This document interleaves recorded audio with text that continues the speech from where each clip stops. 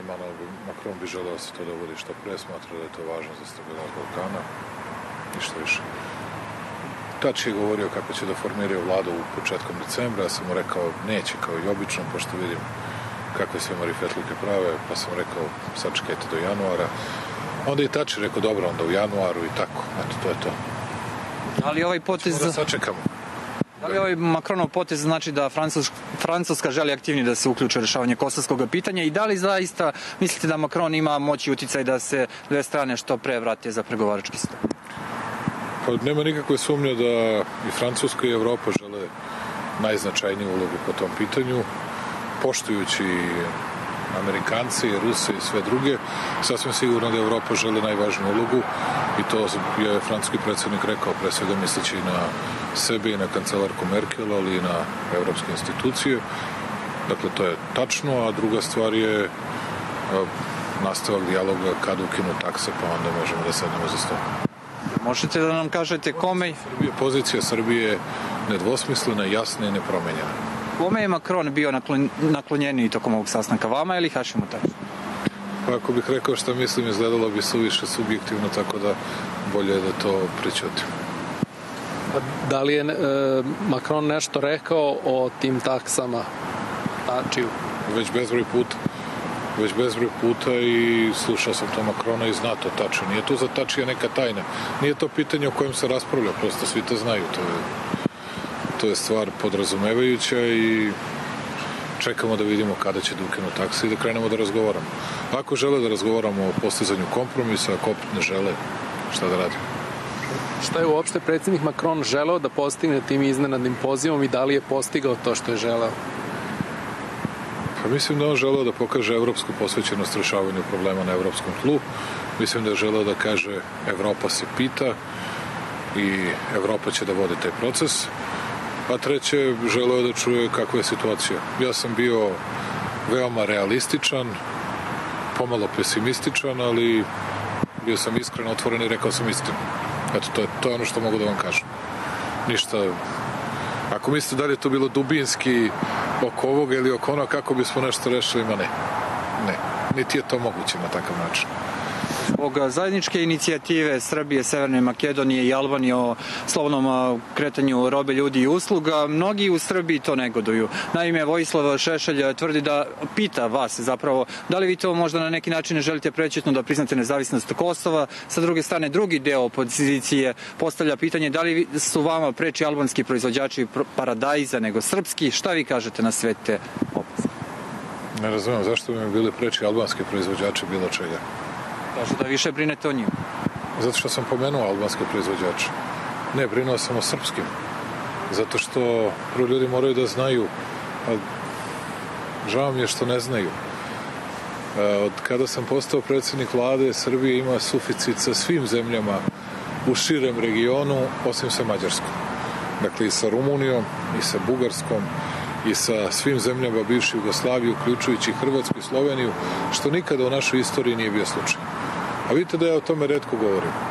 Srbija ima suficit, ponavljam, u trgovini i sa Hrvatskom i sa Slovenijom. Sa Bosnom i Hercegovinom ogroman suficit, sa Makedonijom ogroman suficit, sa Albanijom ogroman suficit. Ajde, evo vi mi recite da ste prvi razred osnovne škole, šta mislite kome slobodno tržište, slobodno kretanje roba, usluga, kapitala i ljudi najviše po tom pitanju odgovara? Ajde, evo, recite mi, prvi razred osnovne škole ste da ništa ne znate, svako bi to razumeo sem srpskih političara u opoziciji. Ali bukvalno svako. Super, neko oni nama prodaju sve što imaju da prodaju, mi ćemo njima da prodajemo naše vozove koje proizvodimo i proizvodit ćemo u Siemensu u Kragujevcu, prodavat ćemo od džema do kompota do svega drugog što u našoj zemlji napravimo. I prodavat ćemo mnogo više nego što svi drugi nama prodaju. A što me terati ljudi da govorim ono što ne moram da govorim? Da bi sad drugi u nekoj drugoj zemlji izvukli ovo kao argument protiv. Ja postoje, moguće da je neko toliko glup i da toliko ne razume ekonomiju i da toliko ne razume ništa da ovo morate da mu crtate ili da je toliko zlonameran da ovo morate da mu crtate. A što se tiče priznavanja puzajuće Kosova, ja slušam tu priču već sedam godina. A nemoj da podsjećam sve zajedno šta su, šta su uradili i 99. i 2004. i zajedno sa mnom, dakle, i 2008. godine, i 9. i 10. i 11. i 12. i svaki put.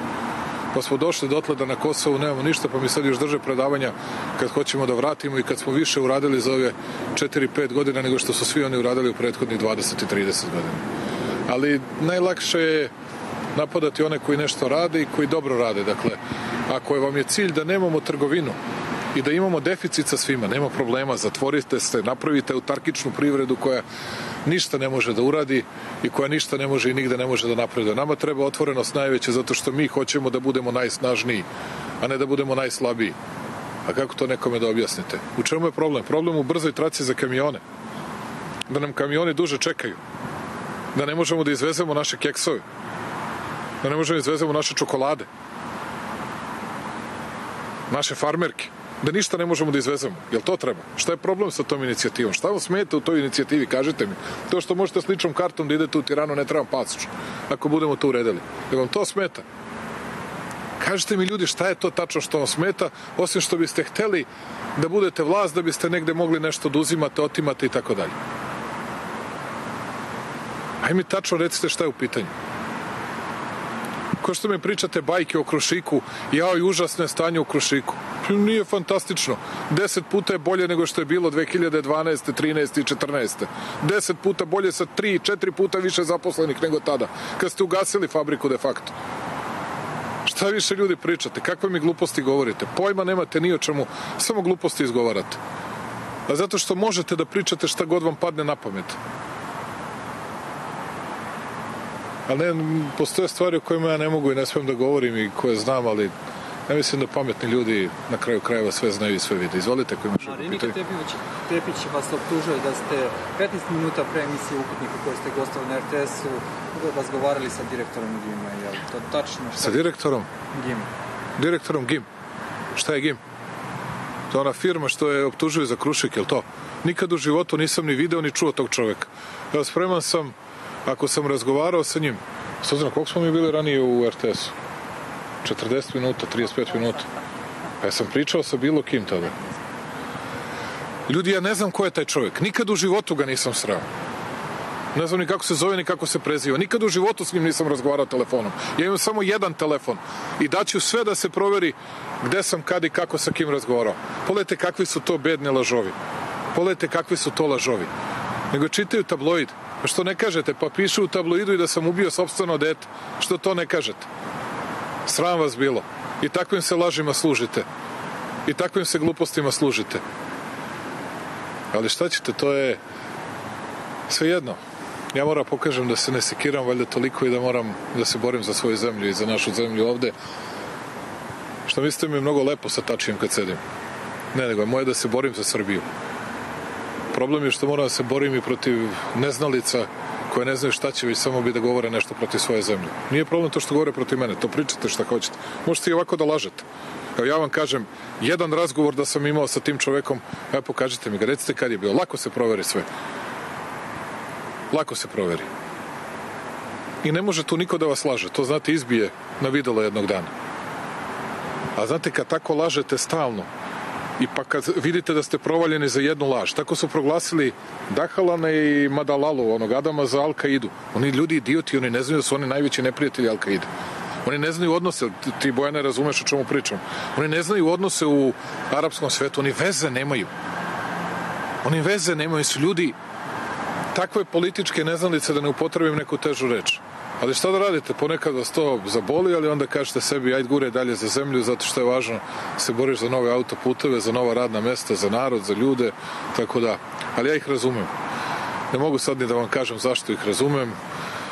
Verovatno su i oni dobili tačno kako stoje u narodu, tako da ja shvatam.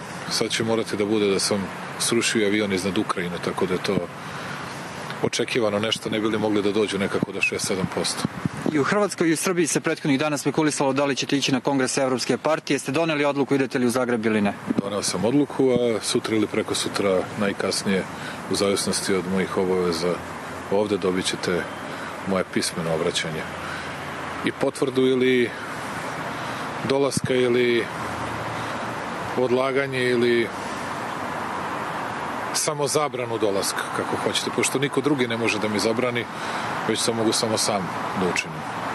Tako da saznaćete za dva dana, ja nemam čega da se stidim, naprotiv ponosim se svojim radom, ponosim se time kako štitim interese Srbije, a to što me deo hrvatskog društva ostrašćeno napada, nažalost imajući u vidu kako to čine i zbog čega to čine, na to sam posebno ponosan jer to do, dovoljno govori da uspešno i dobro radim za interese građana Srbije i srpskog naroda u celini.